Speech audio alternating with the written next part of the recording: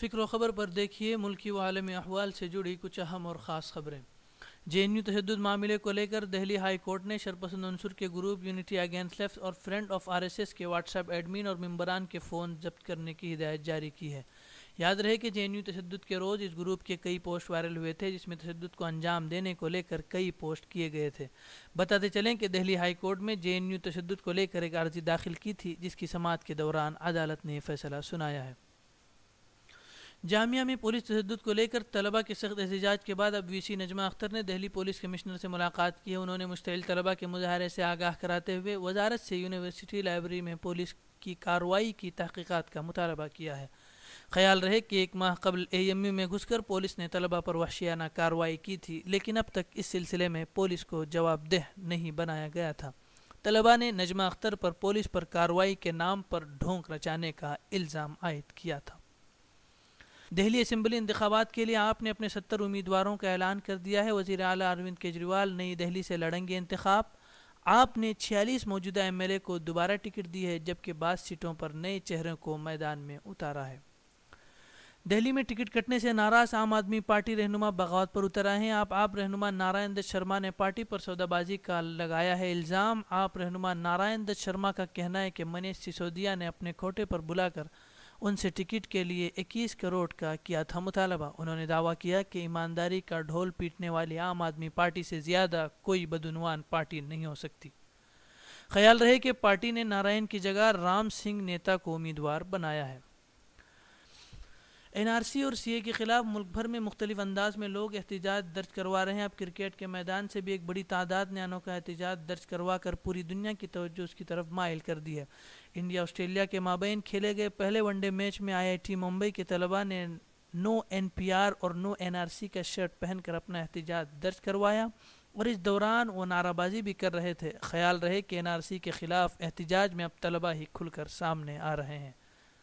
اب N R C کو لے کر سرکار کی مشکلات میں مزید اضافہ ہوتا جا رہا ہے۔ بالی ووڈ کی مشہور ہستیوں کے بعد ٹالی ووڈ اداکاروں نے بھی این آر سی کے خلاف کاغذ نہیں دکھائیں گے کی مہم کا آغاز کیا ہے۔ بنگالی فلم انڈسٹری سے جڑے کئی لوگوں نے ویڈیو جاری کر این پی آر اور این آر سی کو ملک تقسیم کرنے والا اور اصل مدوں سے دھیان بھٹکانے والا قرار دیا ہے۔ حکومت پر تنت کستے ہوئے انہوں نے کہا کہ ہمیں مندر مسجد نہیں بلکہ ملک بھر میں آزادی چاہیے۔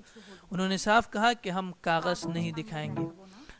عسکریت پسندوں کے ساتھ گرفتار جموں کے ڈی ایس پی نے پوچھ تاچھ کے دوران بڑا خلاصہ کیا ہے۔ پولیس رپورٹ کے مطابق عسکریت پسندوں نے اس بات کا اعتراف کیا ہے کہ جموں میں ان کا قیام ڈی ایس پی کے گھر پر ہی رہا، جس سے وہ شک کے دائرے میں آنے سے بچے رہے۔ خیال رہے کہ دو ہزار ایک پارلیمانی حلقے کے ماسٹر مائنڈ افضل گرو نے ڈی ایس پی کو لے کر کئی جانکاریاں دی تھی جس کی تحقیقات نہیں ہو پائی تھی لیکن اس حملے نے ایک بار پھر ان الزامات کو روشن کیا ہے۔ جے این یو میں فیس اضافے کو لے کر طلبہ کا احتجاج جاری۔ اسی دوران H R D minister Ramesh Pokhriyal کا کہنا ہے کہ ہاسٹل میں فیس اضافے کا معاملہ اب سلجھا لیا گیا ہے اور اب طلبہ کا مظاہرہ جاری رکھنا صحیح نہیں ہے۔ پوکریال کا کہنا ہے کہ utility service tax U G C ہی برداشت کریں گے طلبہ حالانکہ طلبہ فیس میں اضافے کو پوری طرح سے واپس لینے کی مانگ پر اڑے ہیں۔ جموں کشمیر میں پانچ ماہ سے زائد انٹرنیٹ بندشوں کے بعد جموں کے صرف پانچ اضلاع میں محض سات دنوں کے لیے پوسٹ پیڈ موبائل انٹرنیٹ خدمات بحال کرنے کا اعلان کیا گیا ہے، جبکہ ہوٹلوں، سفری اداروں اور اسپتالوں میں براڈ بانڈیڈ انٹرنیٹ بحال کی گئی ہے۔